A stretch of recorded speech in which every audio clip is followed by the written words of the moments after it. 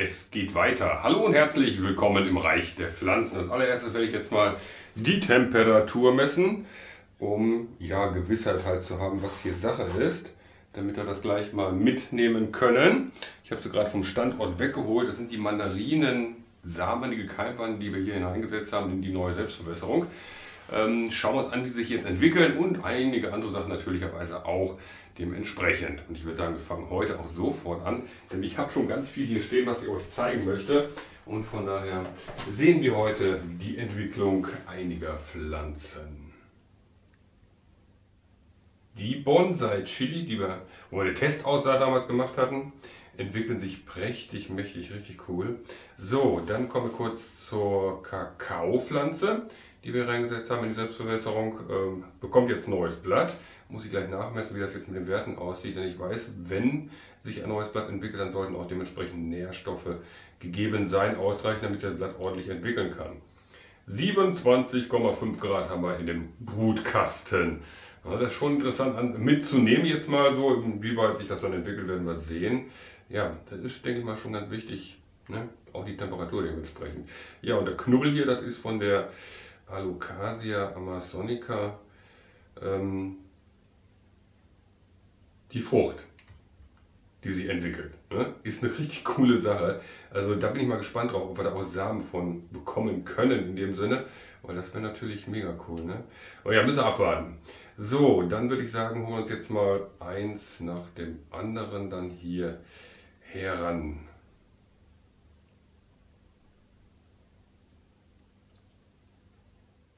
Die Wurzeln der Mandarinen, Sämlinge wachsen jetzt ins Substrat hinein. Bisher war das Ganze abgedeckt. Ich habe das mit dem Deckel hier verschlossen gehabt immer. Und das einmal am Tag aufgemacht, gelüftet für eine halbe Stunde oder Stunde, je nachdem. Und dann wieder zugedeckt. Und wie gesagt, bei dieser Temperatur, wie wir vorhin gesehen haben, klappt das soweit schon mal ganz gut. Also sie entwickeln sich alle prächtig. Allerdings muss ich jetzt gucken, dass sie unter Licht kommen damit sich dementsprechend auch besser entwickeln. Das heißt, ich werde den Deckel jetzt ablassen, werde sie nochmal ein, zwei Tage an den Standort stellen, wo sie war, damit sie, damit sie diese Temperatur erstmal noch bekommen im Moment, ähm, damit sie besser entwickeln und dann später, wenn die ersten Blättchen herauskommen, dann stellen wir sie ganz normal hier ins Zimmer. Bei unserer Temperatur, die wir haben, das sind ca. 23 Grad bei uns hier. Das das mal so kurz mitnehmen, hier das Schätzchen in der Selbstbewässerung. Ist eine coole Sache. Jetzt habe ich das alle, Allerwichtigste vergessen zu erwähnen. Wenn das jetzt offen stehen bleibt, äh, trocknet natürlicherweise oben die Substratoberfläche gegebenenfalls ab. Die Wurzeln sind noch nicht sehr tief eingewachsen, das Ganze ja auch noch gar nicht so lange her, als wir das gemacht haben. Das war am 20.01. Äh, nicht mal ganze Woche ist das jetzt her und von daher müssen wir da ein bisschen aufpassen. Ne? Die Wurzeln wachsen zwar ein, aber sehr langsam und verhalten, gerade bei diesen Zitrusfrüchten. Und von daher müssen wir dann dementsprechend auch gucken, dass wir die Substratoberfläche immer schön nass halten. Von daher gießen wir das Ganze oder sprühen das Ganze dementsprechend ab und zu ein. In der Regel sollte es so sein, dass es einmal am Tag ausreichend ist. Hängt natürlich auch von der Luftfeuchtigkeit im Raum und Temperatur ab, ganz klarer Fall. Aber ansonsten würde ich sagen, läuft das richtig cool hier mit der Selbstbewässerung. Das ist eine richtig coole Sache, weil man braucht sich sonst eigentlich so jetzt gar nicht drum kümmern. Ne? Außer darauf achten, dass sie erstmal einwachsen. Wenn sie eingewachsen sind, dann ist überhaupt kein Problem mehr. Dann brauchen wir uns gar nicht mehr darum kümmern, außer darauf zu achten, dass halt ausreichend Wasser hier unten im Reservoir gegeben ist. Das mal kurz so mitgenommen, denn das ist schon ganz wichtig. Gerade jetzt am Anfang, wenn die Würzelchen einwachsen, das dauert ein bisschen. Das geht nicht ganz, ganz schnell bei diesen Pflanzen. Von daher, ne, gerade bei den Mandarinen, müssen wir ein bisschen Obacht geben, damit die Wurzeln uns nicht austrocknen. Okay, dann brauchen wir auch gut Feuchtigkeit. Hier in dem Substrat, in dem mineralischen, ist das natürlich eine geniale Sache. So müssen wir hier eigentlich noch irgendwas machen. Ich glaube nicht, den hatten wir glaube ich schon gedüngt hier. Äh, die, die Bonsai Chili, ich meine die hätten wir schon gedüngt, ne? Aber wie heißt so schön? Wollen wir nachschauen. Ja, 430 Mikrosiemens haben wir jetzt hier drin. Die ersten Wurzeln wachsen unten mittlerweile auch schon raus. Also es wird nicht mehr lange dauern, bis wir sie pikieren. Könnte man rein theoretisch jetzt schon machen. Die ersten beiden Blättchen sind rausgewachsen. Aber ich warte, bis diese ersten Blättchen, nicht die Keimblätter, sondern die richtigen Blätter, äh, ausgereift sind. Und dann gehen wir da hier weiter und werden dann dementsprechend ein paar neue schöne Sachen damit machen. So, dann kommen wir auch gleich zum nächsten. Guck, kriege ich das jetzt so hin hier. Brauche ich nicht so viel umstellen immer. Und zwar müssten wir jetzt mal bei dem Kakao nachsehen, was hier Sache ist, wie das Ganze jetzt aussieht. Das haben wir ja abgedunkelt hier, da kann man natürlich nicht viel sehen. Von daher muss man ab und zu mal nachsehen. Ne? Wie oft, das lernen wir im Laufe der Zeit oder auch du selber, wenn du solche Pflanzen in solch einer Bewässerung hast. So, ziehen wir mal das Stoffstück hier runter. Das ist ein Hosenbein. Ein Hosenbein, ja, von einer Hose. So, ich nehme das mal raus hier. Sieht soweit okay aus. Nach wie vor ist hier ein ganz kleines Wurzel. Die wächst sehr, sehr, sehr verhalten im Wurzelbereich noch. So, was haben wir hier drin? 790. 790 Mikrosiemens, also die Pflanze ist sehr gut versorgt. Und wir können mitnehmen, dass es ihr richtig gut tut. Ne? Das ist eine richtig coole Sache. Ja, ist schon schön, wenn man das begleitend verfolgen kann. Und dementsprechend hat sie jetzt ein neues Blatt in der Ausbildung. Das ist natürlich das Schönste an der ganzen Sache. Ne? Also sie ist im Wachstum und das ist richtig schön. So, yippie was machen wir jetzt? Ähm, Moment. Oh, ja. Äh, oh. Hupsi babupsi. Glücksbäumchen. Da werden wir jetzt gleich mal was ab. Unser Glücksbäumchen. Ja, auch die Geschichte geht weiter. Ist momentan in einer Ruhephase, befindet sich nicht im aktuellen Wachstumszustand, aber es tut sich trotzdem etwas. Und zwar ist das im unteren Bereich. Ich werde jetzt mal runterfahren hier. So, jetzt guck dir das mal an. Ja, jetzt kannst du sagen, ne, beim nächsten Mal, wenn du eine Pflanze eintopfst, mach doch nicht so viel Substrat da oben drauf. Das ist doch Quatsch. Ne? Da kannst du ja nicht mal richtig gießen, von wegen Gießrand und hast du nicht gesehen. Ja, nee, das ist dann irgendwie von alleine so passiert. Das, das wächst. Das Substrat wächst, glaubst du nicht, ne? Ja, ist de facto so. Habe ich auch noch nicht so erlebt, was hier alles möglich ist im Lechhutzertopf, aber tatsächlich, das Substrat wächst. Was ist denn da los? Und um das genauer jetzt sehen zu können, werden wir etwas machen. Und zwar werden wir jetzt mal die Substratoberfläche zumindest schon mal runternehmen. Äh, muss ich sowieso, weil es fällt mir ja alles runter mit der Zeit, der Quack mit Soße. Und dann schauen wir mal, was da drin los ist. Wie das sich so ja, im Wachstum befindet, das Substrat. Ne? Das ist eine coole Sache. Okay. Alles im grünen Bereich. Ich habe jetzt meinen Staubsauger mal sauber gemacht heute Morgen. Kann man schön ausspülen, das ist eine richtig coole Sache. So, ich werde den Ton jetzt gleich leise drehen, denn ansonsten ist er zu laut. Ihr weißt Bescheid? Okay, vielleicht machen wir auch eine Zeitraffer davon. Sehen wir dann.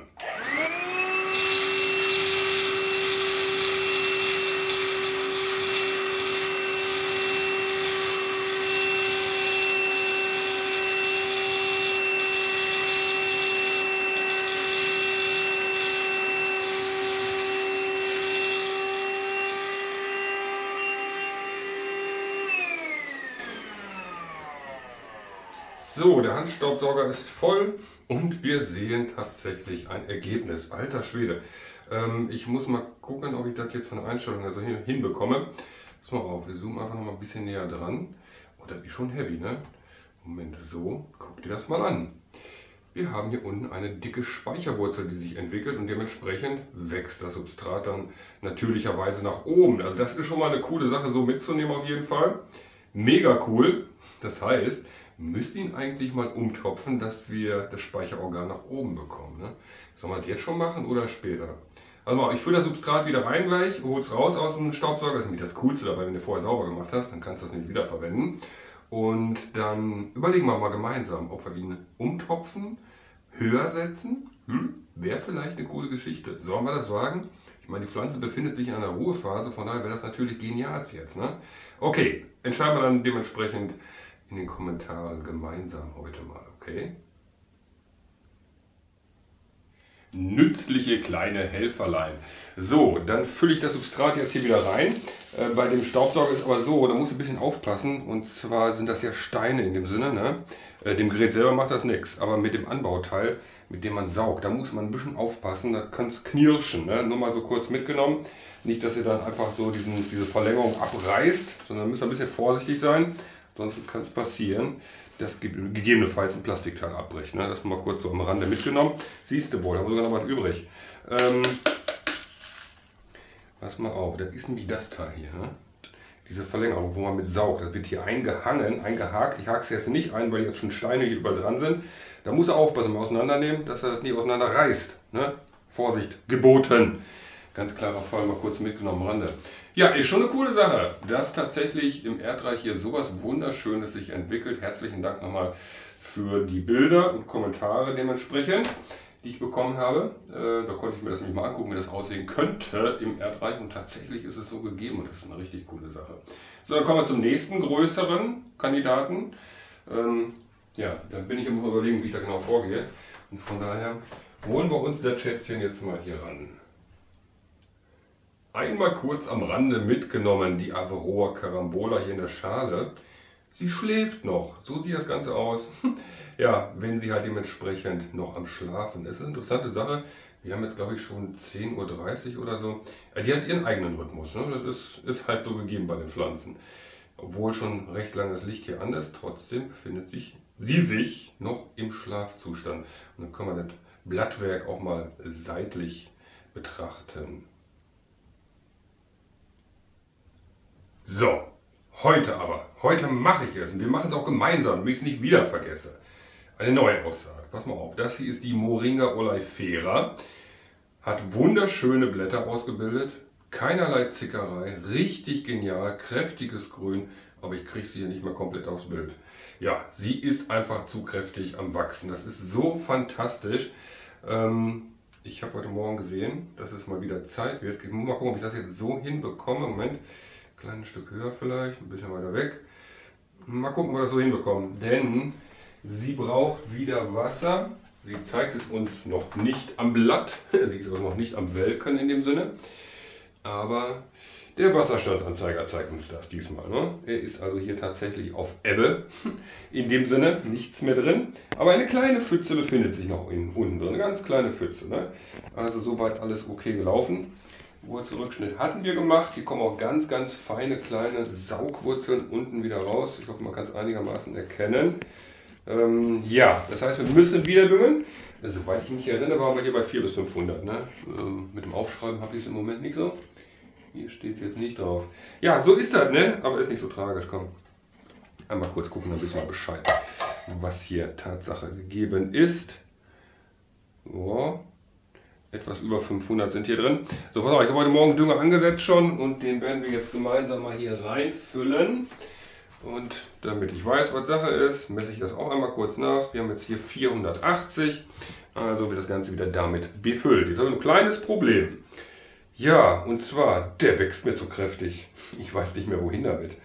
Ja, ist einfach zu hoch geworden. Moment, passt es noch unter der Easy LED, unter der er steht? Ich wollte ja eigentlich unter die Meizi LED stellen. Kriege ich aber nicht gebacken. Das äh, funktioniert nicht, weil der passt da einfach nicht runter. Das heißt, ähm, ja, was heißt das? Ich habe keine Ahnung. Wir müssen es einfach weiter beobachten, wie sich das Ganze so entwickelt. Und von daher kann ich da soweit jetzt ja nichts verändern. Aber ich müsste mal einen größeren, längeren Stock hierbei stecken, sehe ich gerade. Moment. Ja, das ist so, ne? Es gibt auch Sachen, die wachsen einem über den Kopf, obwohl sie im Normalfall gar nicht wachsen würden. Ist schon cool, ne? So, okay, dann hole ich mal eben einen Stock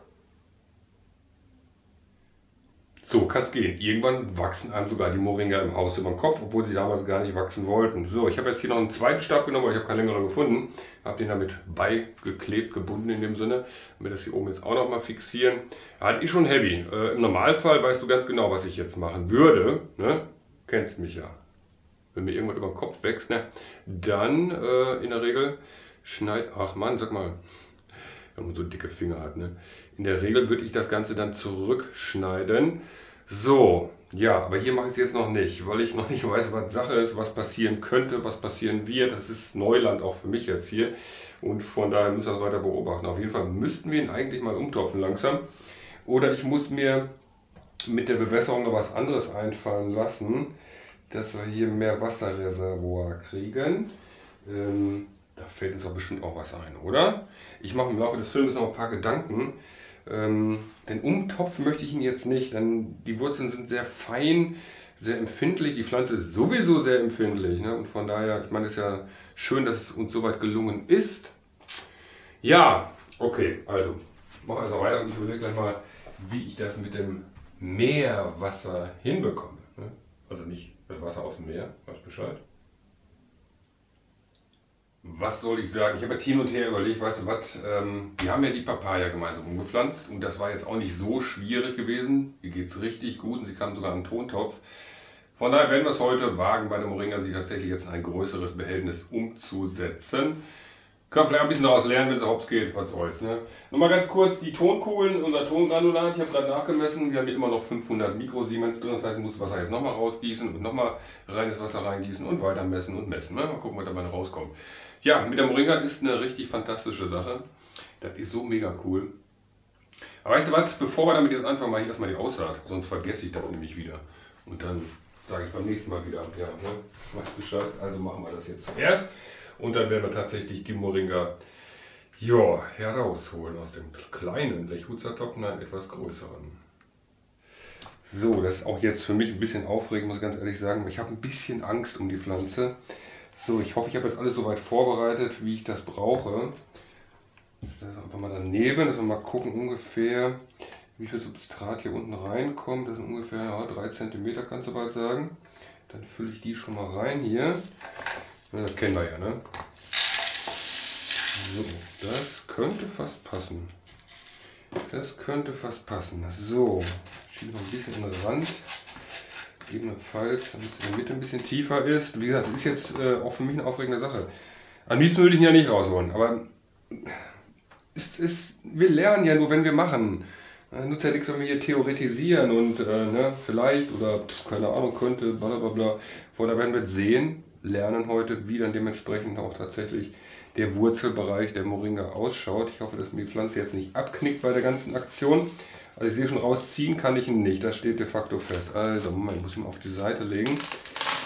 Und das heißt, wir werden voraussichtlich die Wurzeln komplett hier freilegen. Wir gucken, ob hier unten noch ein bisschen mal durchgewachsen ist. Mal rausziehen. Den Docht vielleicht schon mal ein bisschen vorziehen in dem Sinne. Also reinstecken. Gegebenenfalls vorsichtig, vorsichtig. Nicht, dass uns die Wurzel abbrechen hier. Oh ja, siehst du wohl. Jetzt guck dir das mal an. Solch eine große Pflanze und so wenig Wurzeln und trotzdem verballert die so viel Wasser. Das ist schon heavy. So, jetzt müsste aber ganz schnell sein. Das heißt, nochmal auf, ähm, ganz schnell, zacki bumm jetzt. Nicht, dass mir die Wurzelspitzen hier abtrocknen. Das wäre nicht so gut, denn wir auch hier befüllen wir das Ganze mit trockenem Substrat, ganz wichtig, damit er schön rieselt. Denn ansonsten zerquetscht ihr die Wurzel mehr oder weniger. Ne? So, siehst du wohl. Hat soweit schon mal ganz gut geklappt und dann lassen wir uns jetzt mal überraschen, wie das Ganze dann jetzt vonstatten geht. Wir verwenden auch hier aufgedüngtes Wasser, wie vorhin auch. Was hatten wir? 400 und, ach weiß ich gar nicht mehr. Zwischen 400 und 500. Ah, jetzt gieße ich das einfach so hier rein. Lol. Ja, ihr seht schon, ich bin ein bisschen aufgeregt. Ähm, hör mal auf. Ich stelle den mal eben in den Topf hinein. So, dann hatte ich mich hier schon parat gestellt. Ich sag's jetzt, habe ich nämlich noch ein Problem und zwar den Stock, den Stab. Ne? Den muss ich jetzt auch noch gucken, dass ich den ein bisschen tiefer bekomme und aufpassen dabei, dass ich mir hier im oberen Bereich keinen Ast ab, abknicke oder so. Ne? So, das hat soweit ganz gut geklappt. Oh. Er ist drin. Hier, hier. Ja, ist es so. Ne? Wenn, wenn du ein Schätzchen hast, wo du richtig dran hängst, ne? am liebsten hätte ich es ja nicht gemacht. Aber es ist so, wir müssen ja was lernen. Ne? Von daher, lass uns überraschen, wie die Moringa jetzt auf diese Aktion reagieren wird können wir ja gemeinsam verfolgen. Das Schönste. Sowieso. Boah, ich sag's euch. So, dann kann ich den sauber machen hier. Und würde sagen, dann können wir hier auch gleich direkt die neue Aussaat machen. Deswegen habe ich sie nämlich noch nicht gemacht. Weil ich dafür auch wieder einen Topf brauche. Und von daher mache ich den jetzt mal eben sauber. Aber hat so ganz gut geklappt. Ne? Das ist, ist okay. Und sind ein paar Würzelchen drin geblieben. Aber ansonsten ist das okay. Das hat soweit funktioniert. Mann. Oh, oh, oh. Mal sehen, was der dazu sagt. Ne? Werden wir spätestens morgen sehen. Machen wir heute einen Neustart. So, ich habe frisches Substrat hier reingefüllt, das Gefäß vorher sauber gemacht, damit das alles soweit wieder okay ist. Und dann stecken wir jetzt die Samen hier rein. Wir haben damals drei Samen reingesteckt und das werden wir dieses Mal auch machen. Ich lege es erstmal oben auf, damit ich gleich weiß, wo welcher ist. Ne? Und die drücken wir einfach jetzt hier rein, ungefähr so tief, wie sie dick sind in dem Sinne, dass sie also oben so ja, guten Zentimeter bedeckt sind. Ne? So, das Ganze machen wir jetzt nass. Und das sind immer noch die Samen, die ich mir damals gekauft habe. Schon lange her, ich weiß gar nicht mehr wann das war, vor zwei Jahren oder vor drei Jahren, keine Ahnung. Ähm, ja, die scheinen also recht lange keimfähig zu sein. Das kann man so schon mal mitnehmen. Okay, jetzt ist bei dem einen, den wir jetzt rausgenommen hatten, vorhin hatten wir damals auch drei Samen reingesteckt und nur einer ist davon tatsächlich gewachsen. Wir verwenden jetzt reines Wasser, ohne Nährstoffe, ganz wichtig. Ja, und dann haben wir jetzt Neustart. Datum steht hier drauf, damit wir das wissen. Und lassen uns überraschen, wie das Ganze jetzt funktioniert. Hier brauchen wir nichts machen. Nicht abdecken, gar nichts, nicht auf Heizung, sonst wo. Ich stelle den hier bei uns auf den Tisch mit irgendwo. Hat letztes Mal auch wunderbar funktioniert. Bei 23 Grad Zimmertemperatur bei uns hier. Und von daher ist das soweit okay. Vielleicht sollte man sie auch gar nicht zu schnell zum Keim bringen. Vielleicht hat es auch daran gelegen. Kann natürlich auch sein. Okay. Oh, geschafft. Jipp, jipp, jipp. So, was haben wir denn jetzt noch? Ach, die Litschi, warte mal. Hm. Die Litchis, ja, sie wachsen wunderbar in verschiedenen Methoden. Hier dann in der Selbstbewässerung, die wir gebaut haben, auch mit dem Docht hier, funktioniert wunderbar. Einen davon haben wir rausgenommen hier, den haben wir jetzt vor kurzem hier in dieses Glas hineingestellt. Eine Flasche, die wir geschnitten hatten, weiß Bescheid. Ist eine richtig coole Sache, richtig genial. Vor allem, das steht schön fest und äh, hast längere Zeit was davon in dem Sinne. Ne? So, das waren, glaube ich, die ersten gewesen damals. Ähm, die hatten wir hier Becher in Becher Methode. Auch hier kann man schon Wurzeln sehen, die rauskommen. Ähm, inwieweit das relevant für die Zukunft ist, sehen wir dann, was man alles mit den Litchis machen kann. Inwieweit die empfindlich sind, hast du nicht gesehen. So, dann hat man noch eine rausgenommen vor kurzem. Das ist dann das Geschwisterchen von denen hier. Ja, es gibt bei den Litchis so ein paar Nachzöglinge und die haben wir auch jetzt noch. Und von daher werden wir auch die noch einpflanzen. Weil, ja, mal gucken, was sich daraus entwickelt. Das kann unter Umständen sehr interessant sein. Weil, ne, man weiß nie. Die kleinsten müssen nicht unbedingt die, wie sagt man so schön, die hässlichsten sein. Das kann durchaus sein, dass die mal viel cooler aussehen als diese jetzt dementsprechend. Ne? So, sie sind immer noch hier drin seit dem 30.11.2019.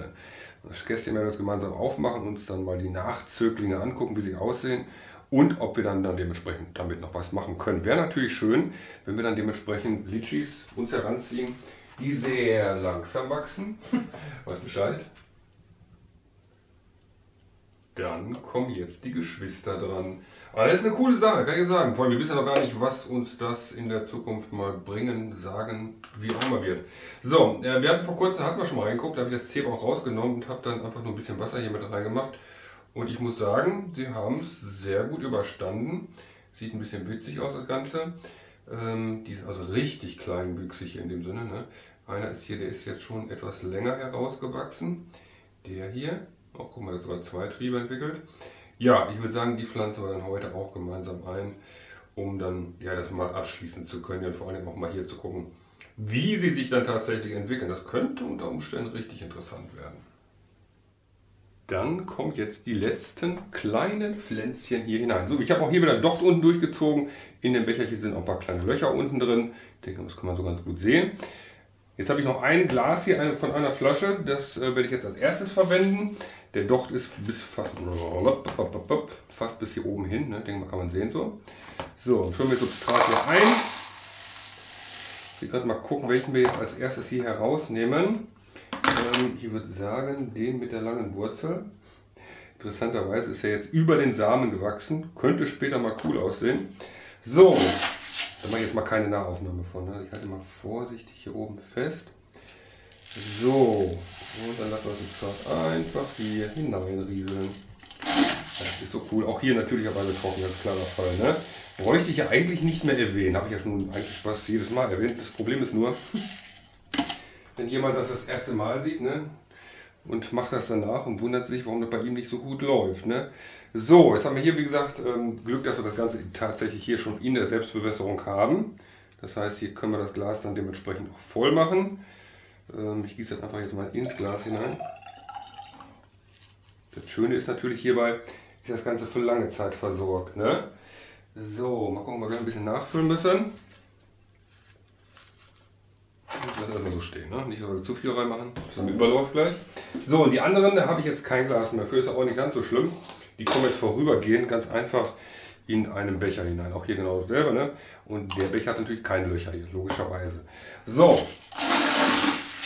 so kann man sich erstmal behelfen. Das können wir dann ja später umstellen im Prinzip. Ne? Von daher ist das soweit ganz okay. So, nehme ich mir das Schätzchen raus. Der hat keine Wurzel interessanterweise. Was damit mal wird, ich weiß es nicht ehrlich. Äh, müssen wir abwarten. Ne? Vielleicht wird es ja tatsächlich noch was. wenn nicht, aber wer weiß, wollen wir mal gucken. Dann decken wir den schön zu hier, dass er eingebettet ist in dem Sinne. Gießen den auch sofort an hier. Hier brauchen wir jetzt natürlich nicht so viel reingießen, ne, denn ansonsten läuft es ja über, passt ja nicht viel rein. Aber vorübergehend kann man das schon mal machen. dann ist das nicht ganz so wild. Oh Mann, ich sag's dir, du alter Schwede. So, dann haben wir echt tatsächlich alle eingepflanzt. Ne? Wollten eigentlich wegschmeißen. Ich hatte zwar gesagt, ich behalte aber irgendwann dachte ich mir so, ach nee, komm, ey, das wird doch sowieso nichts Vernünftiges. Aber wer weiß, wer weiß, wer weiß, wer weiß. Ne? So, ich muss jetzt einfach hier drauf, so dass die Wurzelspitze nach unten zeigt. Die Pflanze selber, die richtet sich nach oben schon, da hat die kein Problem mit. Ne? Wichtig ist, dass die Wurzelspitze tatsächlich ein im Substrat ist. Auch hier schön abdecken das Ganze, weil das ja nun noch sehr filigran ist. Und dann gießen wir auch das hier an. Yippie Wie alt sind die jetzt? 30. 30.11. war das, glaube ich. 30. 30.11. Ja, fast zwei Monate sind die jetzt in der Schale drin gewesen. Zuletzt tatsächlich nur noch mit einer kleinen Pfütze Wasser ohne Zebra dementsprechend. Ne? Ähm, kann ich das demonstrativ mal eben wegkippen? Ja, kann ich. So man sieht, was da noch so drin ist. Ne? So, so eine Pfütze Wasser war da drin. Das mal mitnehmen. Nicht so ganz im Wasser liegen. Das funktioniert natürlich genial dann. So, das ist die coolste Sache. Ne? Das können wir jetzt hinstellen, einfach in Ruhe lassen. Gedüngt haben wir jetzt noch nicht. Hier kommt noch reines, haben wir reines Wasser verwendet, weil die Samen noch frisch und knackig sind.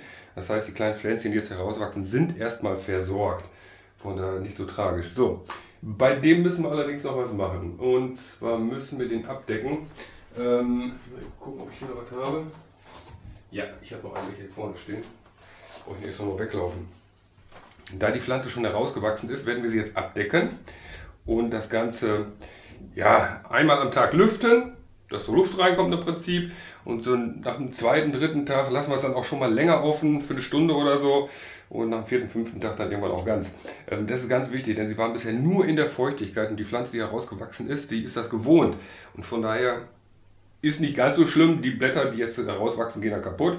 Die Pflanze wächst aber trotzdem weiter, aber es sieht dann nicht so schick aus. Ne? Von daher machen wir das so dementsprechend, dass wir sie abdecken und dann sie an das Klima hier gewöhnen. Aus der feuchten Suppe heraus, dann hier an die relative trockene Luft. Okay? So, dann haben wir das schon mal fertig. Ist, oh, bin ich ganz froh drüber. Gucken, wie die sich dann jetzt entwickeln, die Litchis. So ganz wichtig eben jetzt zu Anfang auf gar keinen Fall düngen. Okay? Was soll ich sagen? Das Spannendste an der ganzen Geschichte heute ist natürlich die Moringa. Ganz klarer Fall.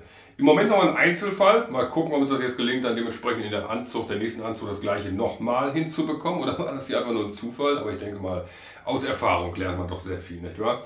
Also sie hat bis jetzt noch kein, äh, keine Welke, ist straff nach wie vor. Das Ganze ist jetzt zweieinhalb Stunden ungefähr her. Ja, läuft, ne?